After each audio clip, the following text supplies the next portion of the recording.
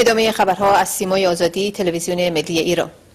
رئیس جمهور برگزیده مقاومت خانم مریم رجوی به دراویش به پا خواسته که با اعتصاب غذا و ایستادگی ارزشمند خود در برابر شکنجه و اسارت زندانیان سیاسی یعنی یکی از فجیح ترین ستم های این رژیم قیام کردند درود فرستاد و خیزش آنان را نماد اوسیان و نارضایتی لبریز شده جامعه ایران توصیف کرد. خانم رجوی افزود به پاخواستن دراویش در پی قیام هموطنان بختیاری آمادگی اجتماعی برای قیام رهایی بخش و سرنگونی رژیم ولایت فقیه را بارز می کند.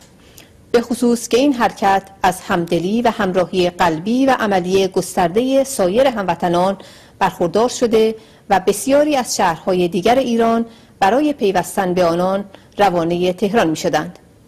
حرکت شجاعانه دراویش و هموطنانی که به حمایت آنان چتافتند یک نقطه کانونی اختناق حاکم یعنی وضعیت فاجعه بار زندانیان سیاسی را هدف قرار داده و ماشین سرکوب و تکگاه اساسی رژیم ولایت فقیه را به چالش کشیدند.